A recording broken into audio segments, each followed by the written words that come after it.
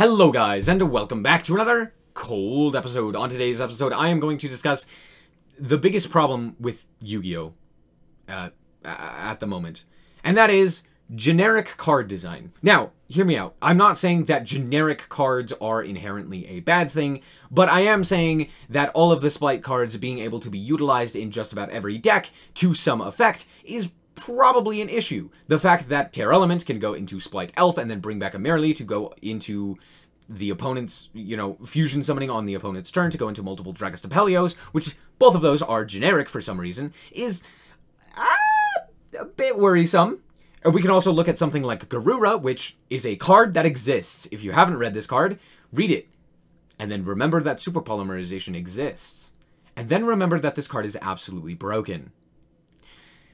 This is a massive issue that is plaguing Yu-Gi-Oh! at the moment, and it is just the general nature of how many boss monsters, not just boss monsters, but just cards in general, as you can see up here, that are entirely generic.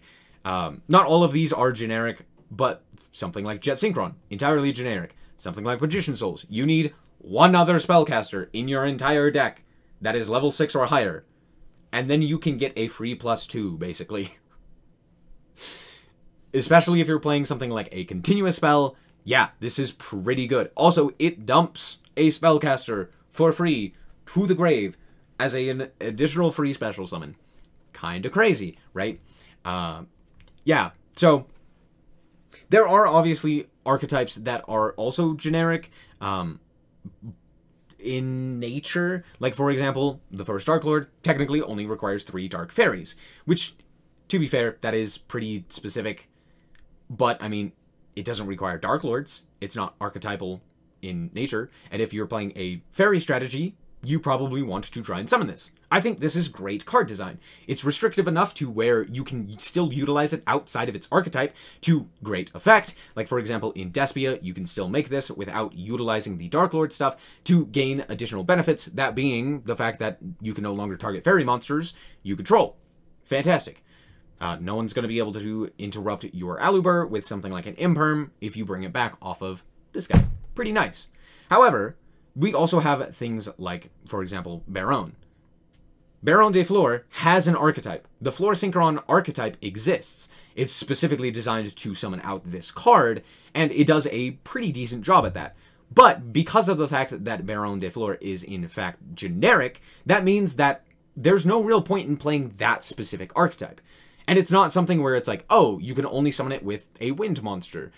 No, you can just summon it in general whenever. So how often do you actually see this utilized in a more specific archetype? Like, for example, the Fleur archetype. Rarely never. So there's no incentive to ever play that deck when a million other decks can do the same thing, but better. This is an incredible boss monster that everyone can utilize. Now, I don't necessarily think that that is inherently a bad thing, but I do think that it really disincentivizes specifically utilizing specific archetypes to get a specific reward.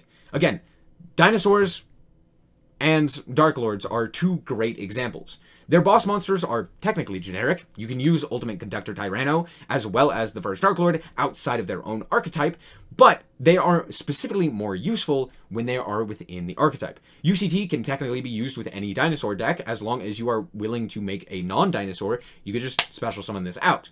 As well as First Dark Lord, as we've previously mentioned, is technically able to be played in other decks that utilize Dark Fairies, like for example, again, Despia.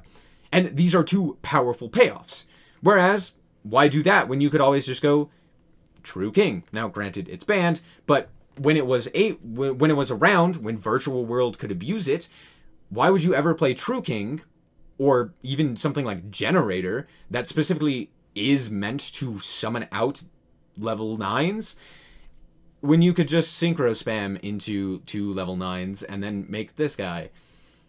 You know, because all you need is 2 plus level 9 monsters. Now, this card is a mistake anyway, so that's fine, but still, I, I mean, look at something like the Borreloads, or the Borrel cards in general. Borrelsword, Borreload, uh, Borrelend, all of the, well, yeah, all of them. All of them are generic. Now, Borreload is the most egregious of them because it is a level 8 synchro that only requires one Link monster in order to do anything and have a pretty decent effect due to the fact that, you know, it gets an Omni Negate. That's pretty good.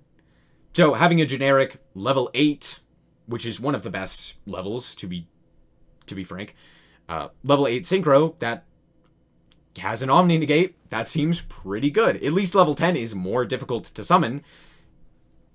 Alright. And then we can look at, uh, of course, the biggest offender of all of this, Crystron Halqifibrax. Just needs a tuner. Any two monsters. And a tuner. Doesn't even have to be effect monsters. Doesn't have to have a Crystron tuner. Doesn't have to summon a Crystron. Doesn't have to synchro into a Crystron tuner. Just entirely generic. All of its effects entirely generic. This is the problem with Yu-Gi-Oh! Nothing is pinned in any way. You can basically use any card to go into any card. There's very few restrictions to incentivize playing a specific strategy or playing a specific deck.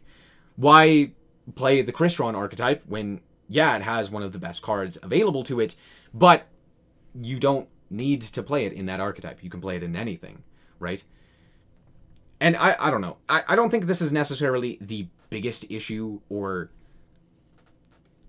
the biggest problem currently facing Yu-Gi-Oh! But I do think that it is a massive issue moving forward, and it is something to be aware of, I guess.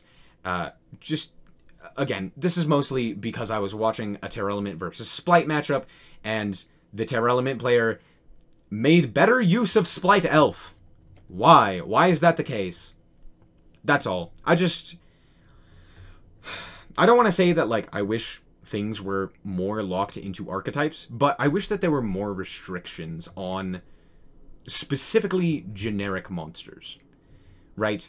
Uh, it just feels like there there isn't really a challenge to anything, and I think th- that like creating a deck that centers around a specific card uh, is one fun, uh, but two really helps differentiate the good players from the bad, right? Especially when it comes to deck building, right? You can really see who's a good deck builder and who's not based on, you know, if they're able to utilize the restrictions given on a monster to, in fact, make it better, right?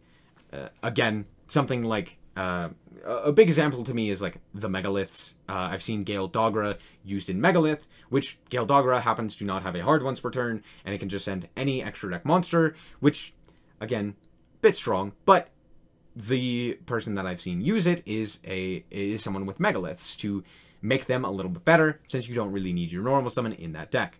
Um, but yeah, stuff like that where it's it's just utilizing the insane advantage of just like knowing cards and knowing the restrictions and like what have yous um, that really stand apart from other games and other decks and other everything. I don't know, just something I thought of, thought I'd let you know, and something I don't like. Um, so anyway, I hope that you guys did indeed enjoy this episode and that this was insightful. Um, if you have anything to add to this, leave a comment down below. All of that fun stuff. Make sure to like the video, yada yada. Anyway, thank you guys so much for watching, and remember to always stay frosty. Bye-bye. Shout out to the Frost Guard, my members. Thank you guys so much for the support, and hope you enjoy the content.